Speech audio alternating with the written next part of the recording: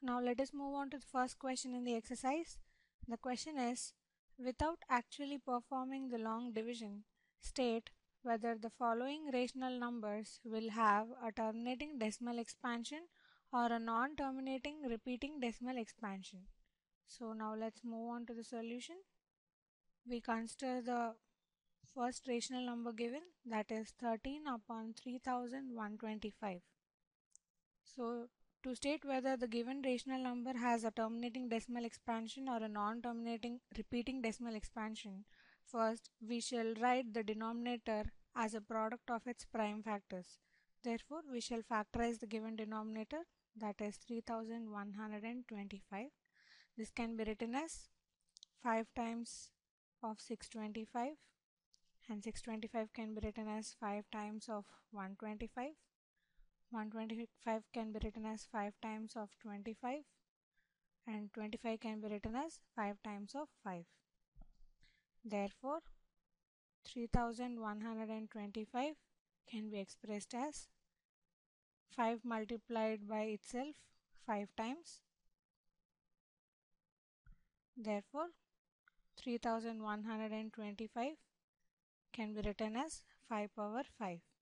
Therefore, the factors of 3125 are of the form 2 power m and 5 power n where m is equal to 0 and n is equal to 5 in this case. Therefore, the given rational number has terminating decimal expansion.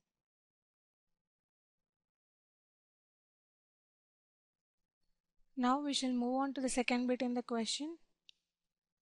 So let's go to the solution. Now we need to find whether the decimal expansion for the given rational number 17 upon 8 is terminating decimal expansion or a non-terminating repeating decimal expansion. So to find whether the decimal expansion is terminating or non-terminating repeating, we shall first write the denominator given as a product of its prime factors. Therefore, we shall factorize the denom denominator 8. 8 can be written as 2 times 4 and 4 can be written as 2 times 2. Therefore, 8 can be expressed as 2 times 2 times 2 which implies 8 is equal to 2 power 3 times 1 which implies 8 is equal to 2 power 3 times 1 can be written as 5 power 0. Therefore, the prime factors for 8 are of the form 2 power m times 5 power n where m is equal to 3 and n is equal to 0 in this case. Therefore, the decimal expansion for the given rational number is terminating.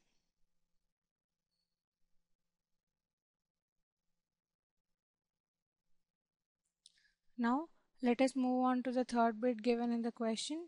So here we need to find whether the given rational number 64 upon 445 has a terminating decimal expansion or a non-terminating repeating decimal expansion. To find whether the decimal expansion is terminating or non-terminating repeating, we shall first write the given denominator as a product of its prime factors.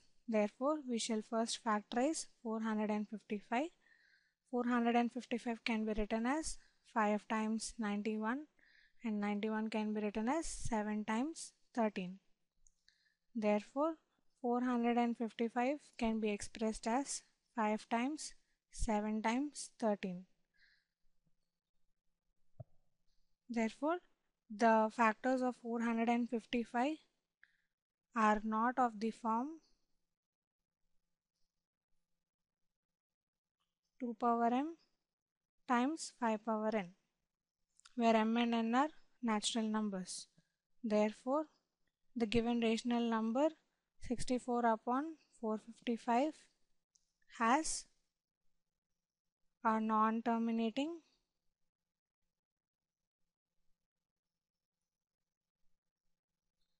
repeating decimal expansion.